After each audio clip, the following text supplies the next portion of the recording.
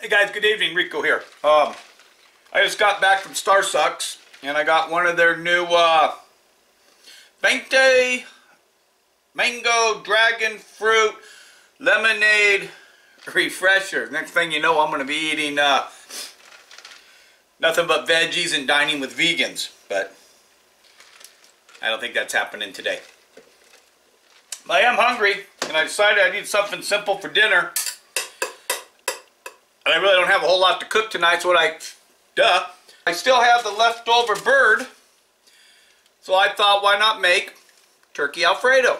Simple, easy, and I like it. So let's get started on that.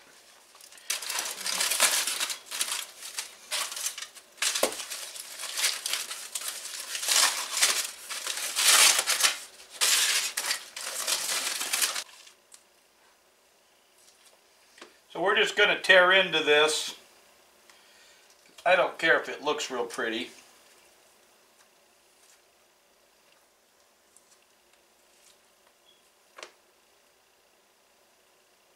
And we can just throw this away. Sorry that the angles are funny here. My kitchen isn't really set up for videotaping because the counter's real long and it's narrow and there's a wall right here. So I got to figure out um, if I'd hook a light up here, maybe I can cook on that side and that I'll, I'll, I'll work on that. So we're just slicing this turkey up. You can use your fingers like that. Just get it into pieces. It doesn't even look pretty.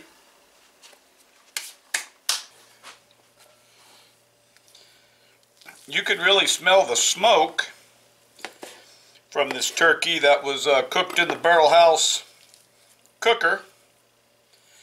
I'm hoping I can find that footage so I can get that uh, video posted tomorrow maybe.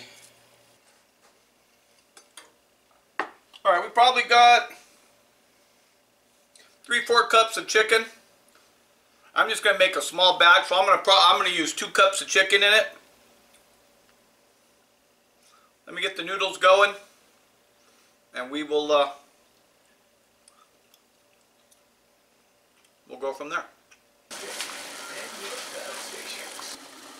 I'm going to use some of this garlic infused olive oil just to brown this turkey and heat it up a little bit before putting it in with the uh, sauce.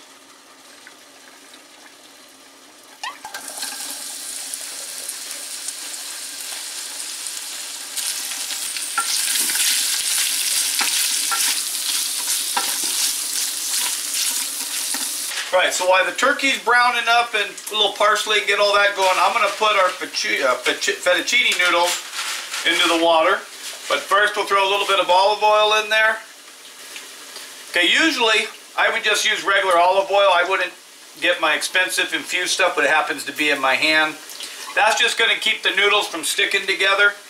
We're going to go ahead and put these in.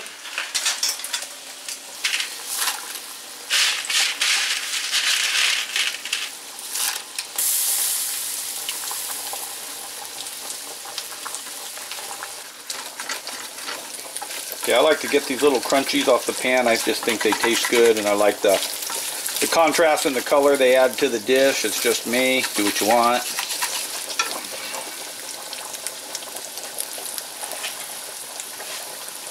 Mm. That's good. Alright, that's done. Turn that off. Okay, while this is all going, I have I don't know. Some of you might say it's clickbait. I don't know.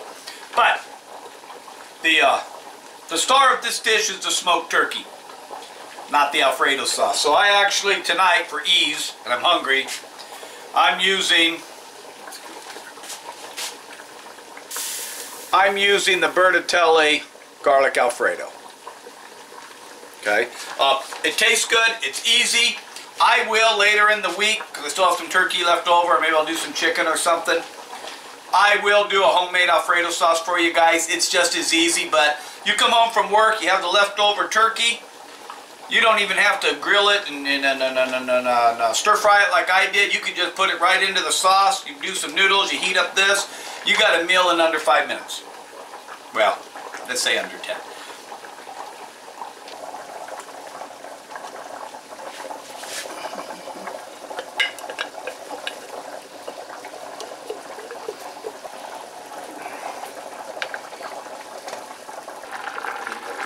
Careful if you do this because uh, you can burn your fingers. Mother may I? That's all right. I'm gonna let it go probably two, three minutes more, and then we'll plate it all up and show you what it looks like. So our pasta's done. Put a little bit of this uh, Bertolli pasta Alfredo sauce.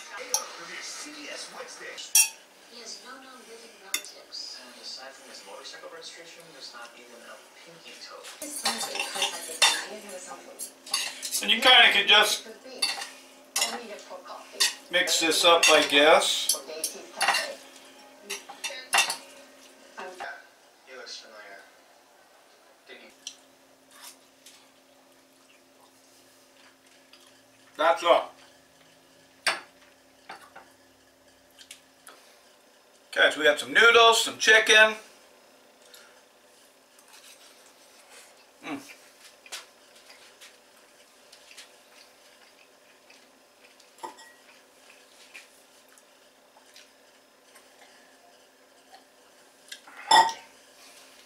That's good, guys.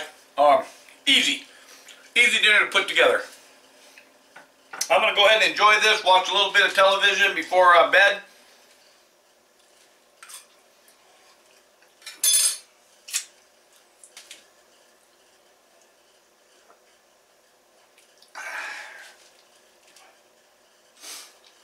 I'm going to call it a night, guys. This is the Tie-Dye Cowboy, wishing you well.